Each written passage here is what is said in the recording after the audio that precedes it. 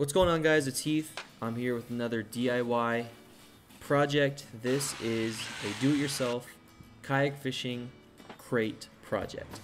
I've seen a few guys do this and decided to go ahead and do it myself since I had a few old crates laying around. This is a kayak fishing crate I had from a previous kayak that I no longer have, so I no longer use it. Decided to go ahead and disassemble it, take off the rod holders, take out the yak gear pouch, and see if it fit. It fit. Guys, make sure that before you just start cutting away and drilling away that you're using a crate that does fit your already in use original crate that you're using. I decided to pick the spot that was not going to have some jagged pieces after I cut it, which is about 3 inches from the bottom. So there it is. It was a little rough. I'm going to get to sanding it here in a second. But first, let's make sure it fits.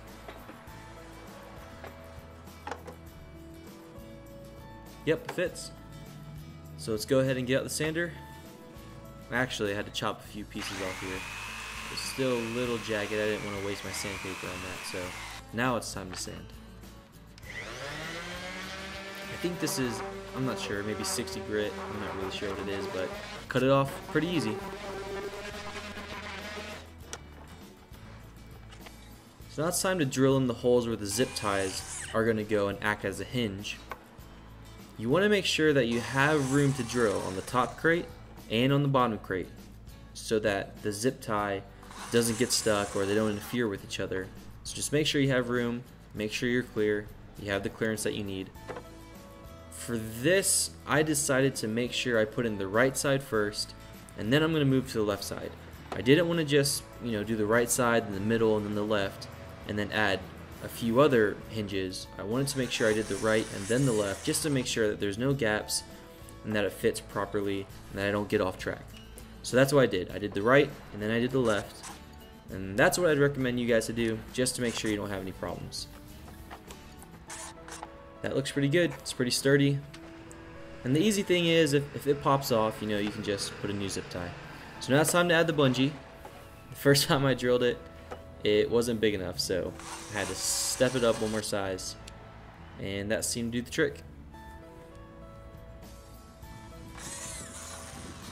So my thought process on putting the bungee was I didn't want to go to the very top. You know, there was no room at the bottom.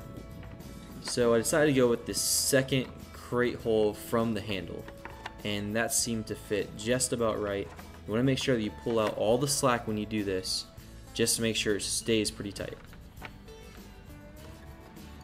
Went ahead, tied the knot, pulled the slack, cut off the slack, and then what I did was just take a lighter and light the end just to make sure it hardens my knot and also takes off any frayed ends. So there it is, the finished product. I felt like it would work good for me on the water. It might not work good for you. I need a little extra storage on the top when I'm, you know, cleaning my fish, throw tools up there, throw my anchor up there, throw my bait bucket up there. It just offers another level to put things and to keep things and separate things. So organization is key in a kayak. I hope that this DIY helped you out.